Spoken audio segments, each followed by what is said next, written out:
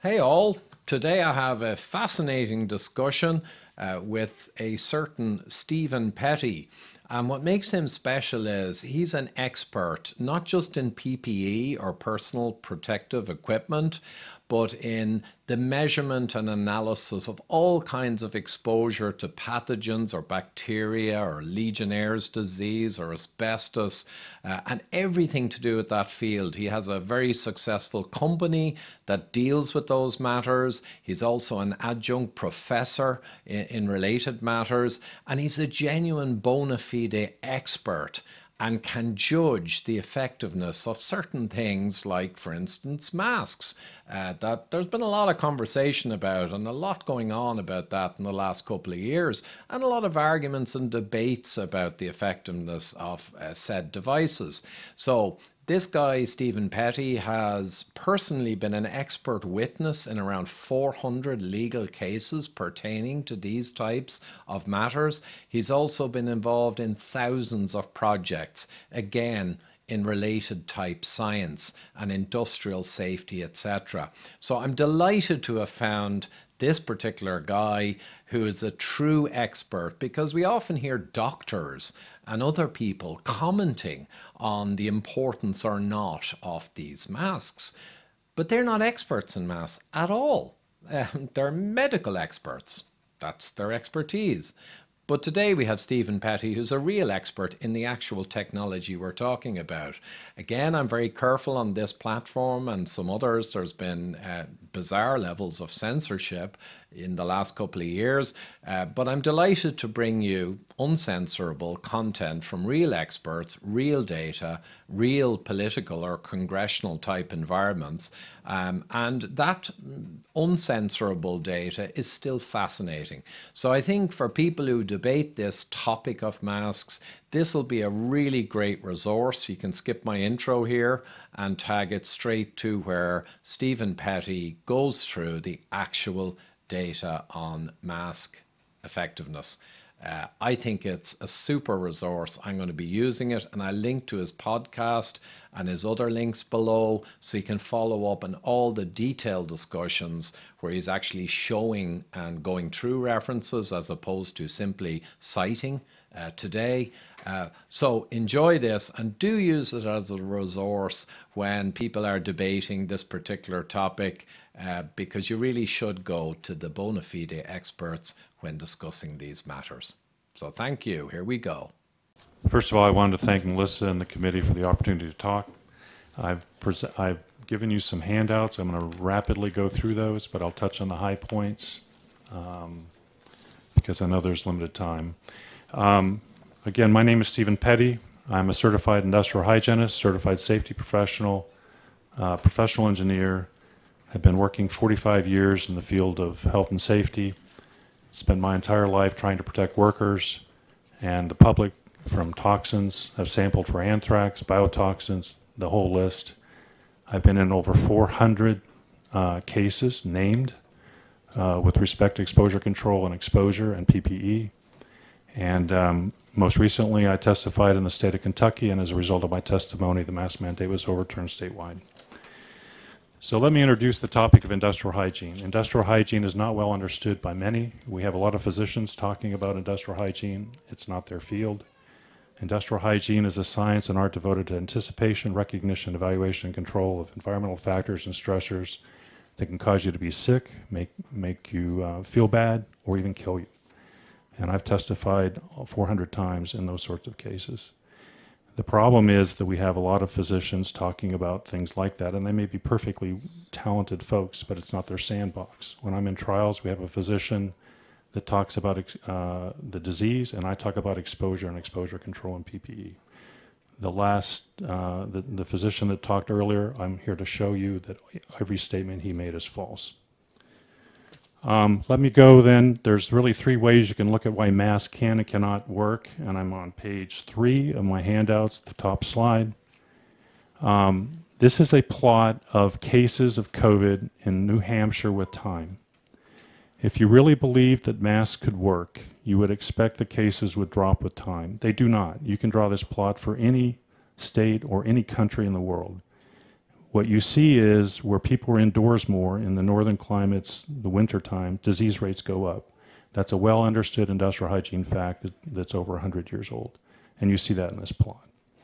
Um, now I want to move you on to um, the uh, epidemiology, and there are lots of studies, but at the bottom of page four, probably the one uh, that's uh, most relevant is the Bundgaard study out of Denmark. They looked at 6,000 or so folks, 3,000 with masks, 3,000 without masks. They found no difference in disease rate. Similar study was done on schools in Florida.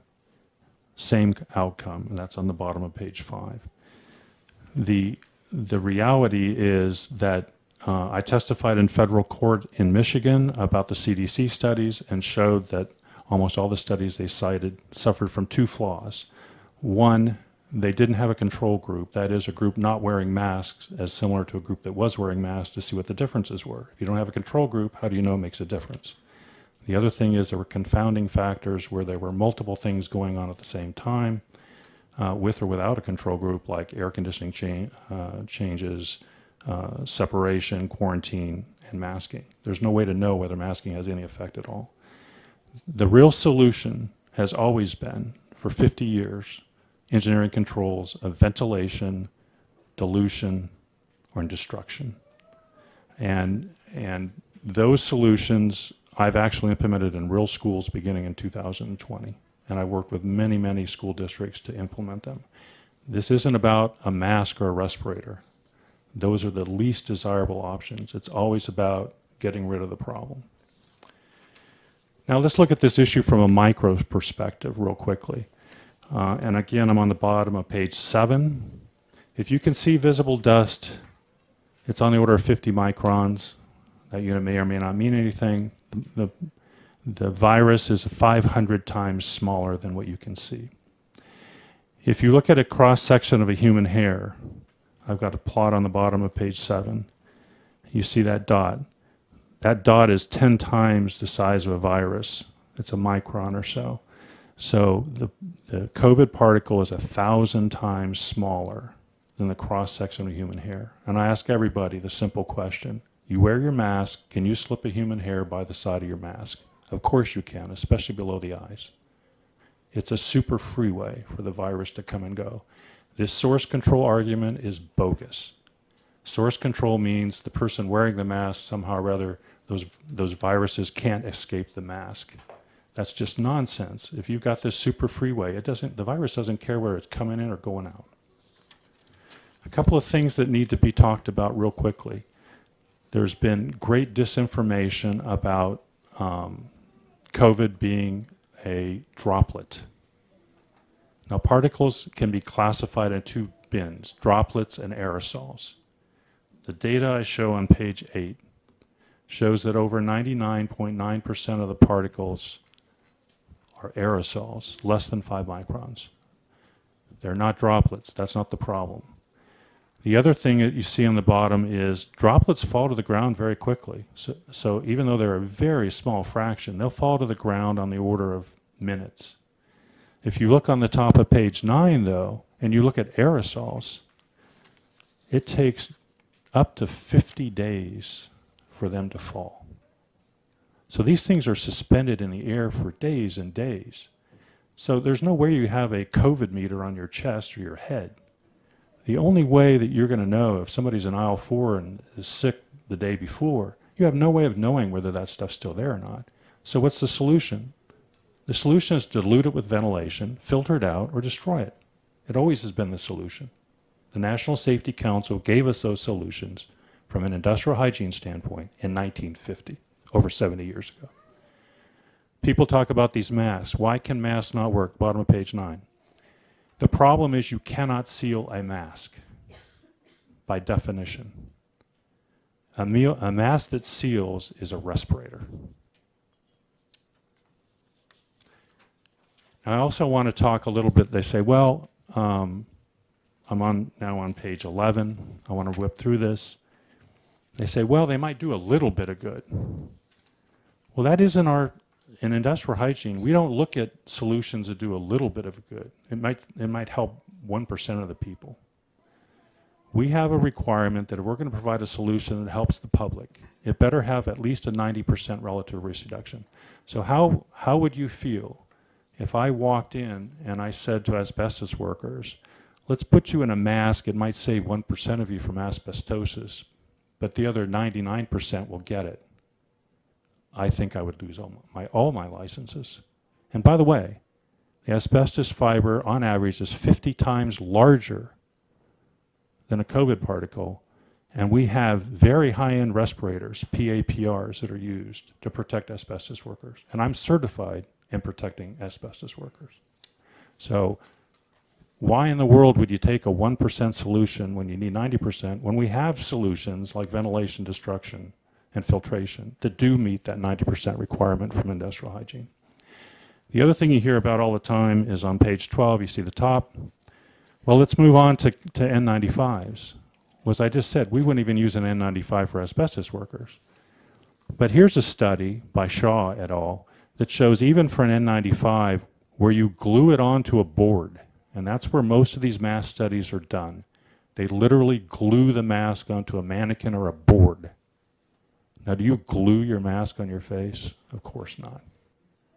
So what happens when it's not? So if it's glued on, they say, well, it has 46% effectiveness.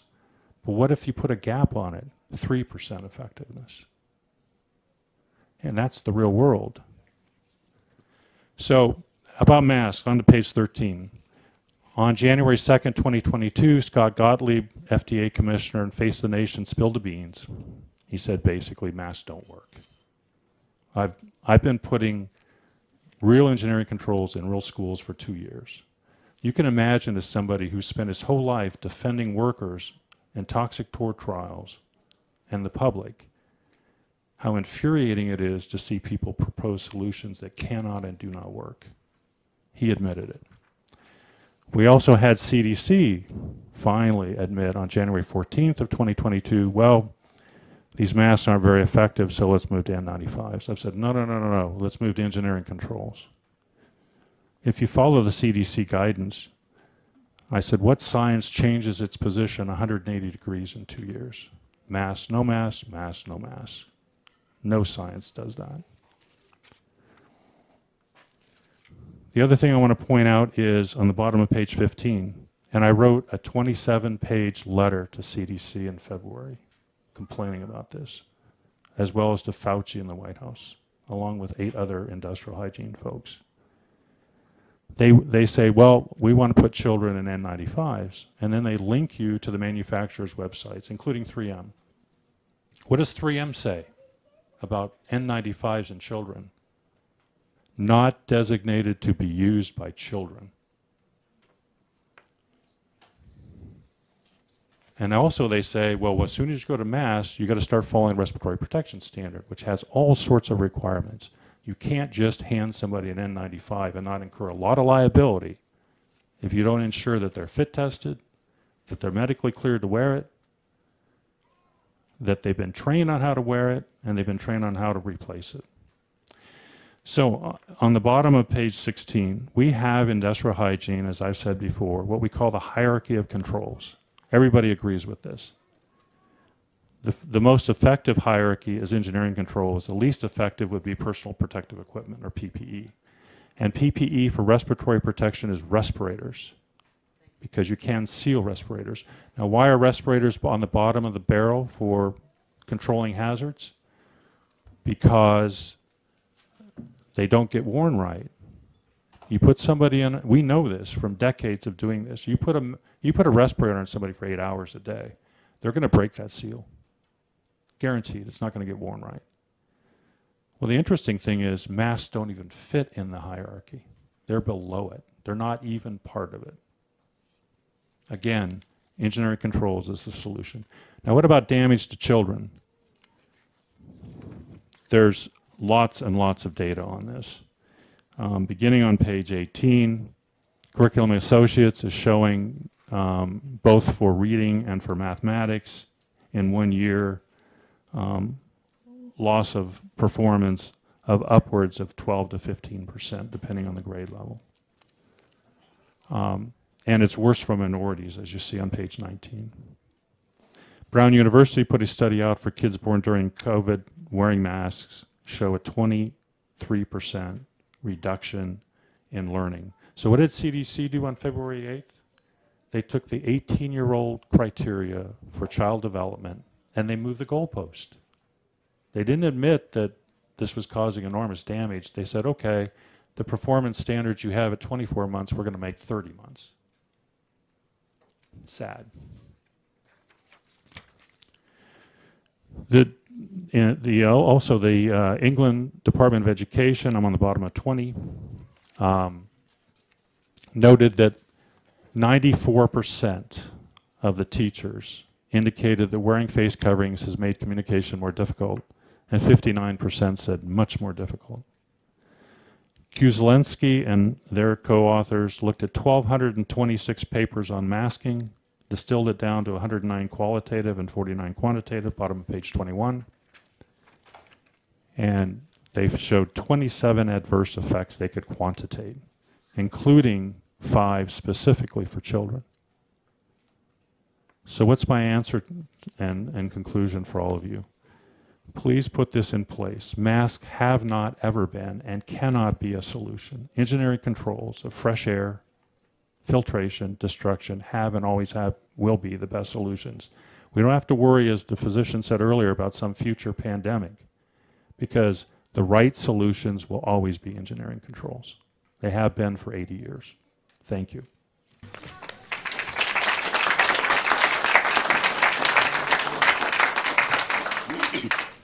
Questions? Senator Avard. Thank you, Mr. Chair, and thank you for your testimony.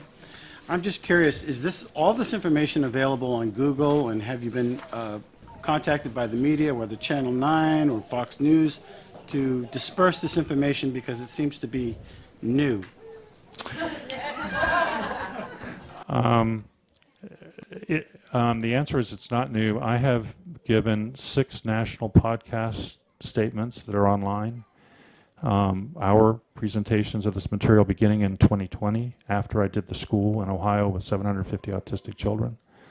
The um, material, I spent almost a half a million of my own time and money building a studio and putting out 20 podcasts summarizing all this. Each podcast, any study I cite will have the URL or the reference to the material. It is true more material is coming out with time, but the underlying uh, industrial hygiene, it's a field not well understood, but the underlying premises of industrial hygiene have been in place since 1950, which is engineering controls.